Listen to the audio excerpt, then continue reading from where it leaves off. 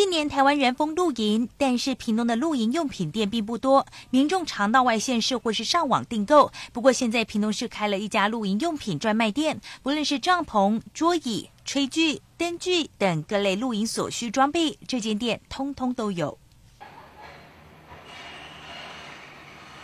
业者黄兴龙原本从事水晶虾养殖，他说三年前一场美好的露营经验让他开始迷上这个活动。这几年已经有五十多次露营经验，后来更兴起想将工作与兴趣结合的念头，于是筹备多时，陆续补齐商品，希望提供露营经验及好的用品给路友。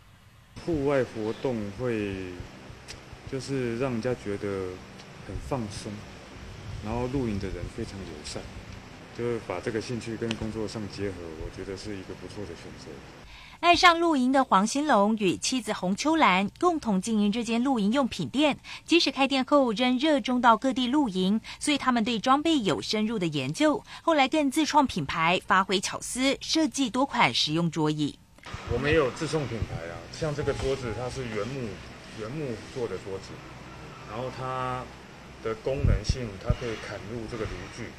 然后它可以做伸缩，它可以做伸缩，然后你要缩的话，它就可以缩。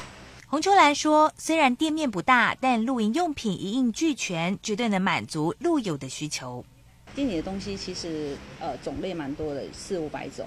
那呃我们的商品就是以天幕，然后银柱、木桌、装备袋、地垫这一些。”那其实还有很多，比如说是呃呃这些碗筷、锅碗瓢盆这些户外都用得到的东西，然后气化灯、露营灯这一类都是都有。